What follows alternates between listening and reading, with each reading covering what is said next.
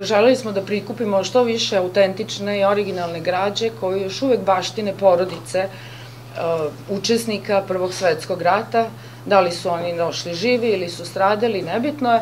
Uglavnom, uh, veći deo materijala koji smo uspeli na terenu da skupimo, uh, doveli smo, doneli smo u naše muzeje, Otkupili smo ih, popunili naše fondove i to ćete sve imati prilike da vidite danas na izložbi.